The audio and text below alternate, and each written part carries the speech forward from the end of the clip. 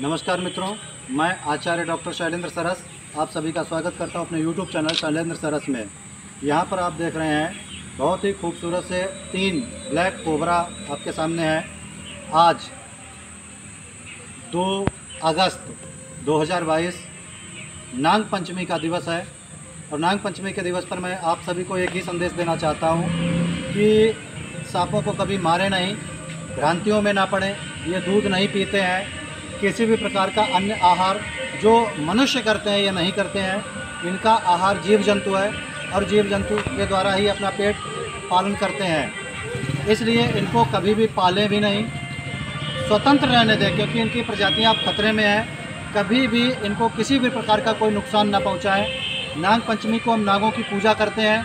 विशेष इसीलिए आज हम ये वीडियो बनाकर आपको दे रहे हैं। जिससे कि एक संदेश समाज में जा सके कि सांपों के प्रति जितनी भी भ्रांतियाँ हैं, उन सबको ख़त्म किया जा सके कि ये दूध नहीं पीते हैं, इनमें किसी प्रकार की कोई नागमणि नहीं होती है।